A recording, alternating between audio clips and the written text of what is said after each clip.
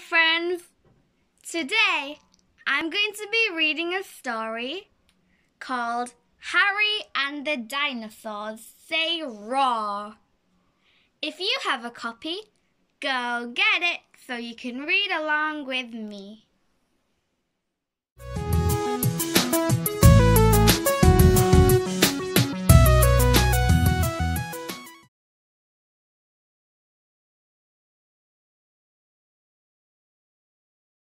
Harry and the Dinosaurs Say Roar by Ian Whybrow and Adrian Reynolds.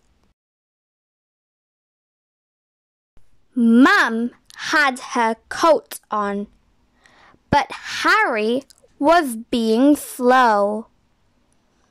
They were going to see Mr. Drake, the dentist. Harry was only a bit scared.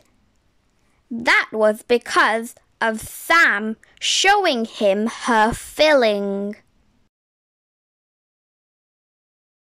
Harry wanted to take his dinosaurs, but they were hiding all over the place. He called all their names. He said, Get in the bucket, my Stegosaurus.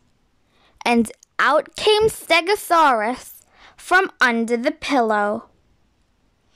He said, Get in the bucket, my Triceratops. And out came Triceratops from inside the drawer. And one by one, Apatosaurus and Scelidosaurus and Ankylosaurus all came out of their hiding places and they jumped into the bucket. All except for Tyrannosaurus. He didn't want to go because he had a lot of teeth. He thought Mr. Drake might do drilling on them. Harry said, Don't worry, because when we get there, I shall press a magic button on my bucket, and that will make you grow big. In the waiting room, the nurse said, Hello, Harry. Are you a good boy? Harry said, I am, but my dinosaurs bite. Then Mr. Drake called, Next, please. The nurse took Harry into Mr. Drake's room. Harry wasn't sure about the big chair. He thought maybe that was where Mr. Drake did the drilling. Come and have a ride in my chair, said Mr. Drake. It goes up and down. Harry didn't want to ride. Would one of your dinosaurs like a go? Asked Mr. Drake. Harry put Tyrannosaurus on the chair. He whispered to him not to worry. Then he pressed the magic button. Tyrannosaurus grew very big. Roar! Said Tyrannosaurus. Help! cried Mr. Drake, hiding behind the door.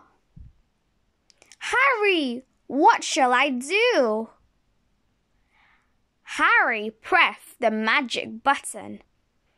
Straight away, Tyrannosaurus went back to being bucket sized. Harry felt safer now about getting into the chair. So he climbed in with his bucket. Then Harry and his dinosaurs all had a ride together.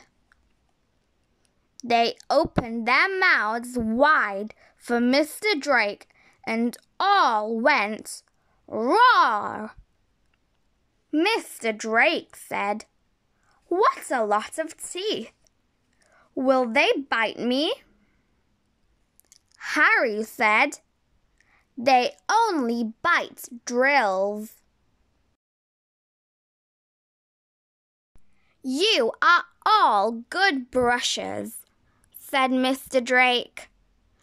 So no drills today, only a look and a rinse.